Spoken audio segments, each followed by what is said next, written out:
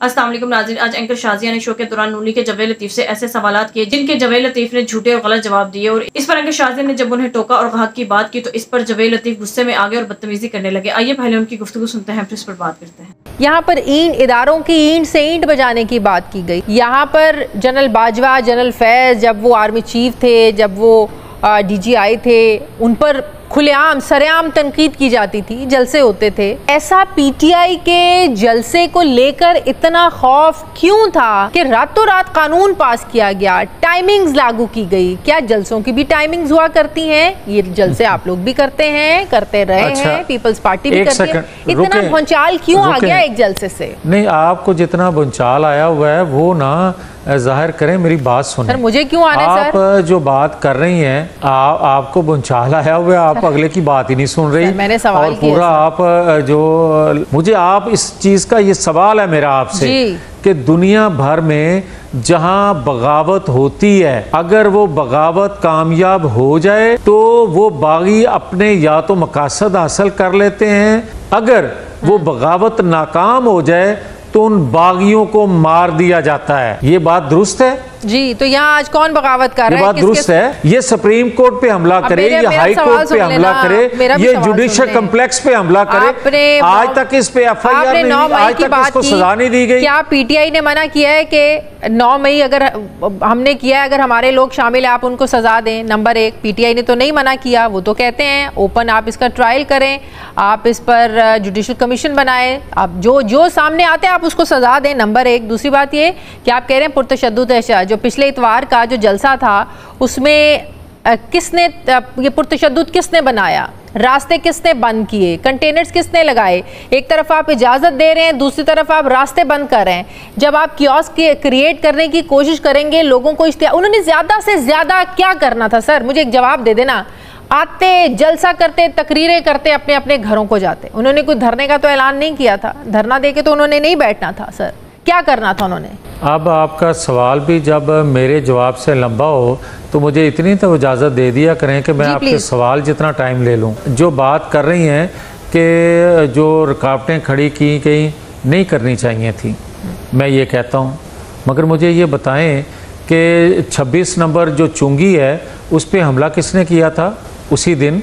ये बता दें आप। मैं मैं आपको बता आठ सितंबर को जो उनका जलसा था। जी जी। क्योंकि क्योंकि वो आगे जाने नहीं दे रहे थे। क्योंकि कह रहे थे कि आपका तीन घंटे का अच्छा, वक्त है तीन घंटे का वक्त खत्म हो गया है। ये आप बात गलत कह रही हैं। ये आपके मालूम ही गलत हैं। और अगर मालूम गलत की बुनियाद पे आप बात कर रही हैं तो फिर मैं क्या कह सकता हूँ? और अगर दानिस्ता तौर पे बात कर रही हैं जब आप बात करती हैं तो फिर आपके पास प्रूफ होना चाहिए। दूसरी बात मुझे ये बताएँ कि ये जो कानून आप कहते हैं रातों रात बना क्या ये कानून किसी एक जमात के लिए रहेगा या सबके लिए रहेगा? ये ये आप हर एक पे लागू होगा।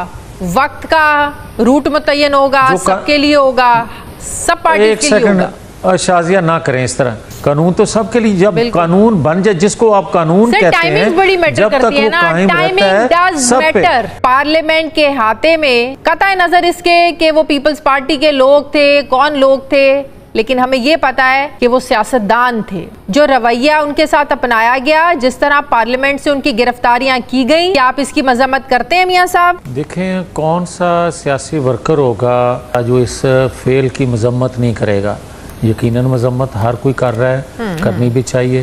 हम्म, मगर मैं शाजिया हमेशा ये बात करता हूँ कि ये क्या तरीका है कि जो इसका बीज बोता है उसको कोई देखता नहीं जो काट रहा होता है उसको देख रहे होते हैं। मगर मुझे अच्छा चले एक और चीज़ बताएँ क्या स्पीकर की मर्ज़ी के बगैर ये गिरफ्तारियाँ पार्लियामेंट के हाथे से क्या रूल्स के मुताबिक आ, स्पीकर की मर्ज़ी के बगैर ये गिरफ्तारियाँ हो सकती हैं? नहीं देखें रूल में तो उनकी मर्ज़ी के बगैर मुमकिन ही नहीं है। हाँ। कानून के मुताबिक तो ये मुमकिन ही नहीं है। क्या हम अरकान पार्लियामेंट नहीं थे जब हमें हाँ, गिरफ़्तार हाँ, किया जाता आप बिल्कुल सही कह रहे हैं कल की गलतियाँ इजाज़त हो रहा है उसको जस्टिफाई नहीं कर सकता। आप बात कर रहे हैं एक पेज की। एक पेज आज भी है जिसका बरमला एतराफ़ करते हैं वज़ी अजम शहबाज शरीफ साहब के अस्करी और सिविल क़्यादत जो है वो बिल्कुल एक पेज पर है।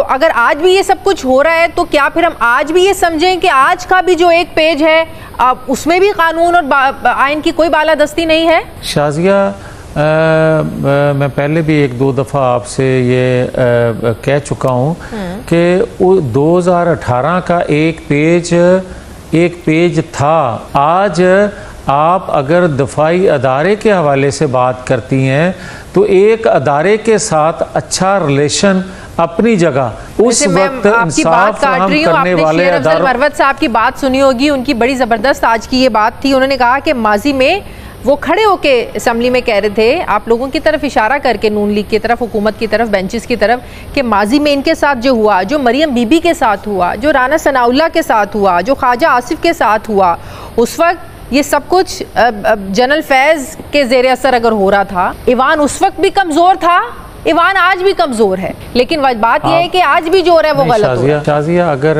हौसले से मेरी बात हो लेने दें जी। मैं आपको ये कह रहा हूँ कि उस वक्त शेर अफजल मरवत असम्बली का हिस्सा नहीं थे। हाँ। भाई जो बात कर रहे हैं वो तो हिस्सा ही नहीं थे उस असम्बली का। और फिर मुझे ये बताएँ कि अगर तो फ़र्क आ गया है हम्म। तो फिर भी मैं मान लूँ कि इमरान खान आज भी पॉलिटिकल फोर्सेस से बात करने की बजाय आज भी वो बात कर रहे हैं कि मैं जो मुझे 2018 में लेके आए थे उन्हीं से बात करूँगा। आज वो मजम्मत तो कर रहे हैं। जो निसार की हुआ वो तो कह रहे हैं। नहीं नहीं आप कह रहे हैं ना कि वो उन्हीं से बात करना चाहते हैं। वो कहते हैं स्टैब्लिशमेंट से बात करने के दरवाजे बंद किसी से कोई बात नहीं होगी। धोखा किया इन्होंने हमारे साथ। कैसे हम मान जाए कि आज वो बात कर रहे हैं वो दुरुस्त है? क्या आज वो फिर से बात नहीं कर रहे कि अली मीन गंडापुर जो बात कर रहे हैं मैं उसके पीछे खड़ा हूँ मेरे पे गद्दारी का जो मुकदमा हुआ किसी ने कहा था अदालतों में कि ये एक ड्रामा रचाया गया है कि मुझे ये अंदेशा था कि इस हम्म। कोर्ट से बाहर निकलूँगा तो लोग मुझे संसार कर देंगे हम्म। जिस तरह अंदर बैठ के वो भाषण दे रहे थे कि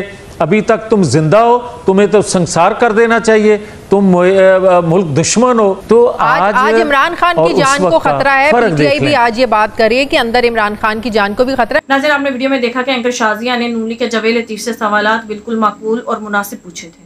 नाजिर नूली के शुरू से ही वतीरा रहा है कि जब उनके पास सवाल के जवाब नहीं होते तो फिर वो बदतमीजी करने लगते हैं आए बायशाएँ करने लगते हैं। एंकर शाजिया ने ऐसी कौन सी बात कर दी थी या उन्होंने पीटीआई के हक में ऐसी कौन सी हमायत का ऐलान कर दिया था जिस पर नूली के जवेद लतीफ ने इस तरह से बदतमीजी करने लगे और एंकर शाजिया को इस तरह आड़े हाथों लिया। नाजिर नूली के जवेद लतीफ का शुरू से यही वतीरा रहा है कि वो जब भी एंकर शाजिया के शो में आते हैं और एंकर शाजिया से इसी तरह से बदतमीजी करने लगते हैं और अगर जलसों की बात की जाए तो जिस तरह से पीटीए के आठ सितंबर के जलसे में उन पर जिस तरह से जुल्म सितम किया गया, अवाम के रास्तों में रुकावटें खड़ी की गई और जलसे की इजाज़त देने के बावजूद अवाम को जलसे में शामिल होने से पूरी तरह से रोका गया। क्योंकि नूलिक पूरी तरह से खौफजदा हो चुकी थी और नूलिक पूरी तरह से हवास बाख्ता थी। क्योंकि इमरान खान तो अभी भी जेल में है और इसके बावजूद अवाम इमरान खान के हक में इस कदर कैसे निकल आई? और अवाम ने अभी भी इमरान खान की आवाज़ पर लबैक कहा। इमरान खान की जलसे में गैर मौजूदगी के बावजूद पूरे पाकिस्तान से अवाम इस तरह से उमड़ कर पीटीए के जलसे में आई। और जाली मैंडेट पर आई हुकूमत को मजबूरन अवाम पर जुल्म सितम करना पड़ा ताकि अब अवाम को जलसे में शामिल होने से रोका जा सके और ये प्रोपेगेंडा किया जा सके कि पीटीए के जलसे में अवाम आई ही नहीं और जलसे के जलसा गा तो खाली था।